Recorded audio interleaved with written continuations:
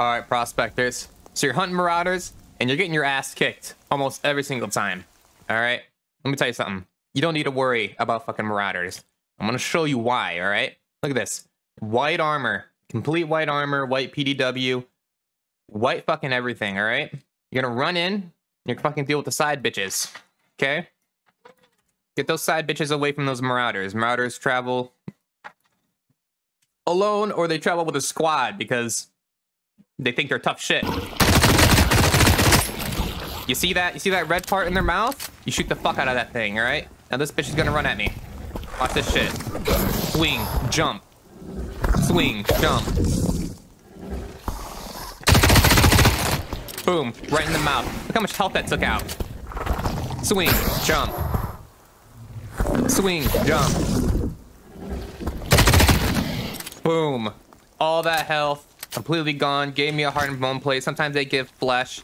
Um,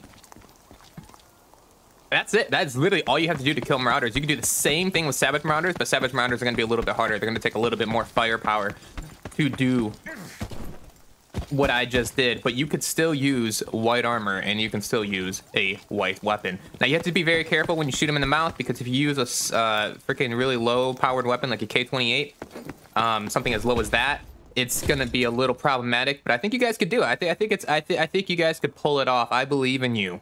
I believe in you, prospectors. All right. I fully 100% give you all of my faith.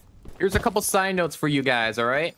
If the Jeff ends up running uphill at you, all right, it's gonna be a lot easier to make those jumps. He's gonna swing, you jump. He's gonna swing, you jump. All right.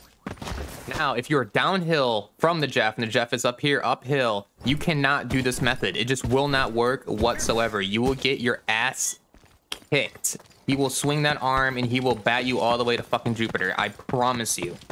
Now, with all that said, hope you guys enjoy your day. I'll see you on Fortuna 3.